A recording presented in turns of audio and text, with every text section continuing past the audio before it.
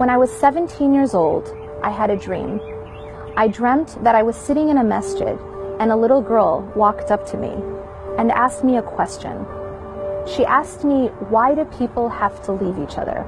The question was a personal one, but it seemed clear why that question was chosen for me. I was one to get attached. Ever since I was a child, this temperament was clear. While other children in preschool could easily recover once their parents left, I could not. My tears, once set into motion, did not stop easily. As I grew up, I learned to become attached to everything around me. From the time I was in the first grade, I needed a best friend. As I got older, any fallout with a friend shattered me. I couldn't let go of anything. People, places, events, photographs, moments, even outcomes became objects of strong attachment. If things didn't work out the way I wanted or imagined, I was devastated. And disappointment for me wasn't an ordinary emotion. It was catastrophic. Once let down, I never fully recovered.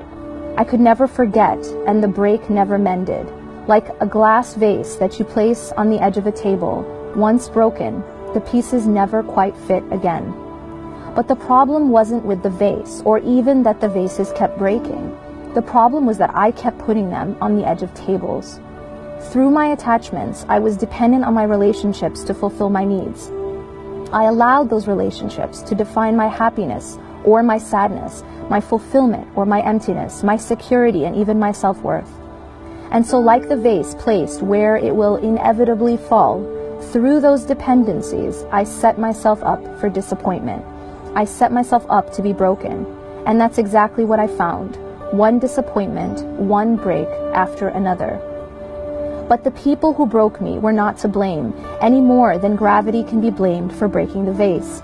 We can't blame the laws of physics when a twig snaps because we leaned on it for support. The twig was never created to carry us. There's a crucial lesson in the Quran that there is only one handhold that never breaks. There's only one place where we can lay our dependencies, and only one relationship that should define our self-worth. Only one source from which we should seek our ultimate happiness, fulfillment, and security. That place is God. But this world is all about seeking those things everywhere else. Some of us seek it in our careers, some seek it in wealth, some in status. Some, like me, seek it in our relationships.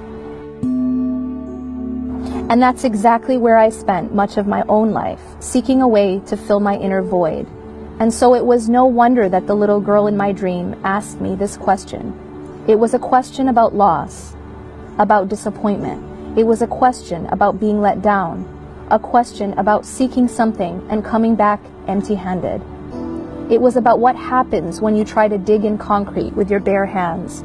Not only do you come back with nothing, you break your fingers in the process. And I learned this not by reading it, not by hearing it from a wise teacher. I learned it by trying it again and again and again. And so the little girl's question was essentially my own question being asked to myself. Ultimately, the question was about the nature of the dunya as a place of fleeting moments and temporary attachments, as a place where people are with you today and leave or die tomorrow. But this reality hurts our very being because it goes against our nature. We as human beings are made to seek, love, and strive for what is perfect and what is permanent.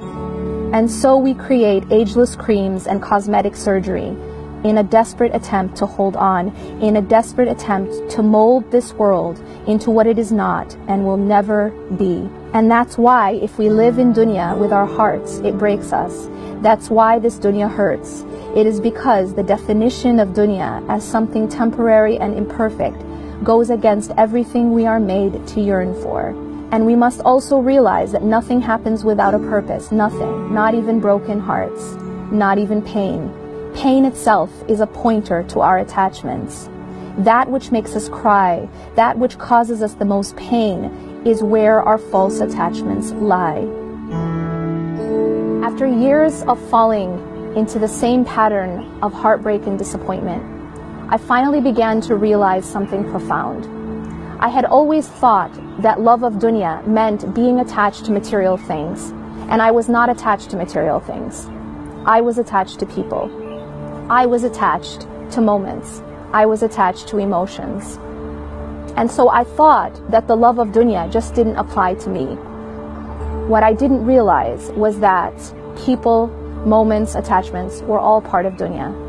What I didn't realize was that all the pain I had experienced in life was due to one thing and one thing only love of dunya. Looking back at the dream I had when I was 17, I wonder if that little girl was me. I wonder this because the answer that I gave her was a lesson I would need to spend the next painful years of my life learning. My answer to her question of why people have to leave each other was, because this life isn't perfect. For if it was, what would the next be called? The new edition of Yasmin Mogahed's book, Reclaim Your Heart, is now available on Amazon. Reclaim Your Heart was made available in part through social media by Islamic Relief USA. Sometimes the world begins to look dark, but there's one thing that brings light is when you help relieve a person's suffering and make their world brighter.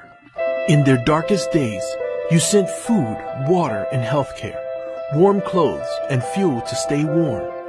You sent shelter, mattresses, and blankets. You sent relief, hope, and love. Thank you for working together for a better world.